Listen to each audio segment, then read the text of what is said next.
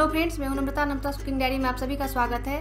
Friends, आज हम आपसे आलू चिप्स की रेसिपी शेयर कर रहे हैं। ये आलू चिप्स को आप एक साल तक स्टोर करके रख सकते हैं। बहुत ही टेस्टी और क्रिस्पी बनता है ये चिप्स तो इसे ट्राई ज़रूर करें रेसिपी को। और रेसिपी अच्छी लगी तो लाइक शेयर ज़रूर करें। और मेरे चैनल पर नए हैं तो सब्सक्राइब ज़रूर करें और बेल बटन को ज़रूर दबाएँ।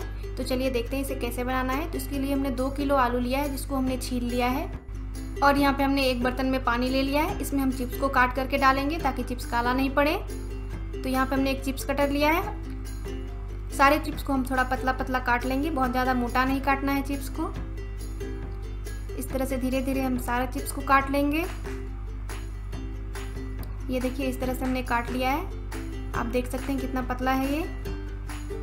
इसी तरह से सारे चिप्स को हम काट लेंगे और पानी में डालते जाएँगे ताकि चिप्स जो है काला नहीं पड़े।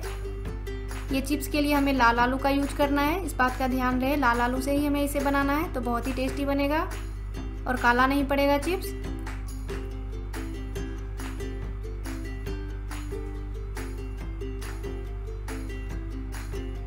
तो ये देखिए, सारे आलू को हमने काट लिया है। एक बर्तन में हमने काट करके रख लिया है। अब हमने गैस पर रख दिया है एक बर्तन में पानी गर्म होने के लिए। पानी जैसे ही उबल जाता है, अब हम इसमें डाल देंगे दो चम्मच नमक। नमक थोड़ा ज़्यादा लगता है इसमें। पानी में जब अच्छे से उबाल आ जाएगा, तब हम इसमें चिप्स डालेंगे। पानी हमारा अच्छे से उबल गया है तो अब हम चिप्स को डाल देंगे पानी में। बहुत ज़्यादा एक साथ नहीं डालना है। तो जितना आएगा इस बर्तन में हम डाल देंगे और बहुत ज़्यादा टाइम नहीं रखना है इसे गर्म पानी में। एक मिनट के लिए हम इसे रखेंगे और इसे थोड़ा उलट पलट देंगे ताकि चारों तरफ़ से चिप्स पक जाए। बहुत ज़्यादा ओवर कुक नहीं करना है इसे।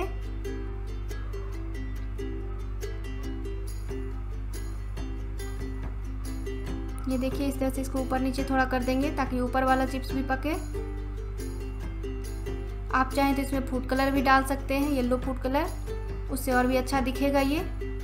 तो चिप्स जो हमारा है, हो गया है। अब हम इसे एक बर्तन में निकाल लेंगे। यहाँ पे हमने जाली वाला बर्तन लिया है, ताकि पानी जो है अच्छे से निकल जाए इसका।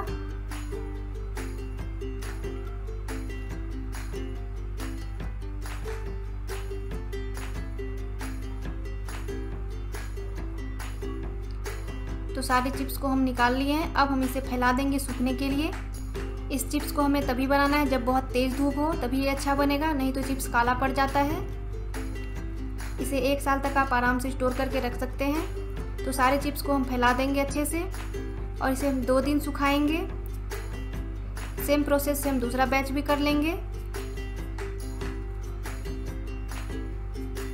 इसी तरह से सारे चिप्स को हम पका लेंगे।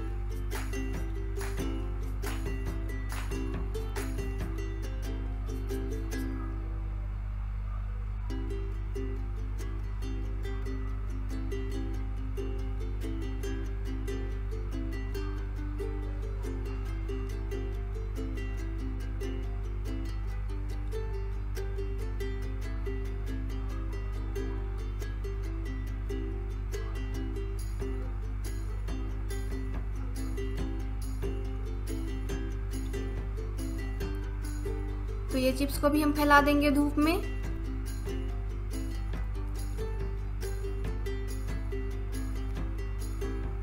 ये देखिए, सारे चिप्स हमारा बन गया है, हम इसको फैला दिए हैं। अब हम इसे दो दिन सूखने देंगे धूप में।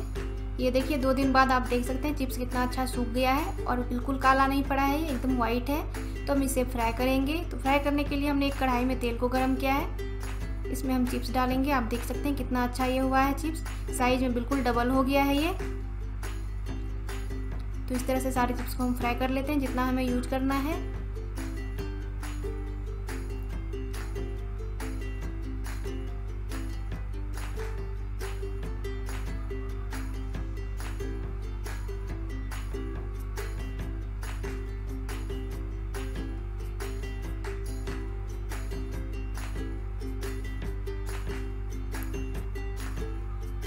तो हम चिप्स को फ्राई कर लिया है।